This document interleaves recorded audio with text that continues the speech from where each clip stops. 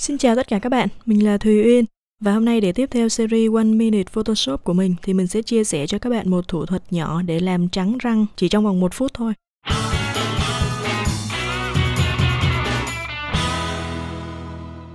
Đầu tiên thì mình sẽ có cái stop như thế này và các bạn xài công cụ là Quick Selection để mình tạo một cái vùng chọn cho cái hàm răng này. Những cái vùng mà bị à, chọn dư như thế này các bạn có thể giữ phím Alt và kéo trừ ra những cái vùng đó thì mình chỉ chọn cái răng thôi.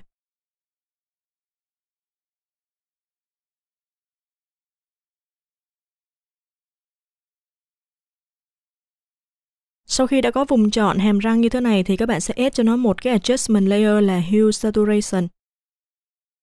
Trong cái bảng Hue Saturation này, các bạn chọn kênh là Yellow và giảm thanh Saturation hết qua bên trái rồi thanh Linux này các bạn sẽ tăng qua bên phải để sáng hơn. Lúc này thì các bạn có thể tắt mở cái layer Hue Saturation này để so sánh ha. Mình có thể làm trắng răng trong vòng một phút. Hy vọng rằng với thủ thuật nhỏ này sẽ có ích cho công việc của các bạn nhiều hơn. Và nếu các bạn thích video của mình, vui lòng giúp mình chia sẻ đến bạn bè của bạn nhé. Cũng đừng quên subscribe kênh youtube của mình tại youtube.com suyệt Thùy Info Ship Gạch Design. Xin chào và hẹn gặp lại.